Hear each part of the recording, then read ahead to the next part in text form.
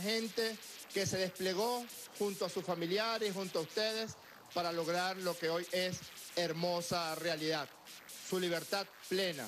libertad llena de dignidad y expresión del futuro de los pueblos de América. Con muchísimo orgullo, el jefe de gobierno de Distrito Capital les otorga y el alcalde de Caracas les otorga las llaves de la ciudad de Caracas para que sepan que esta puerta de esta ciudad y de esta patria siempre estará abierta para ustedes. Y a René, a quien le otorgamos la llave de la ciudad el año pasado cuando nos visitó, queremos condecorarlo con la orden que lleva el nombre de uno de los revolucionarios más prístinos que haya conocido la revolución bolivariana, la orden Eliezer Otaiza en su única clase.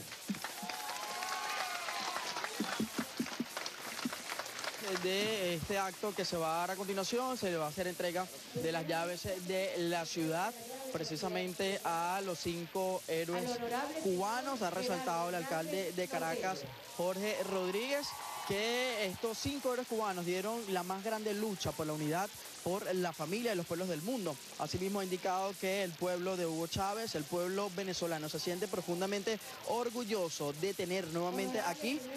con eh, los venezolanos, precisamente a los cinco héroes cubanos. Ha indicado, citando además también textualmente al alcalde Jorge Rodríguez en sus breves palabras que dio acá en la Plaza Bolívar de Caracas, que su libertad plena, llena de dignidad de expresión, representa precisamente esa gran eh, fortaleza para los pueblos de América Latina. Ha indicado que con estas llaves que se le entregan a los cinco cubanos luchadores, precisamente, eh, pues se abren las puertas para que eh, se les dé precisamente este, sea una trinchera venezolana para el compartir, para la difusión de las ideas latinoamericanas. Cabe destacar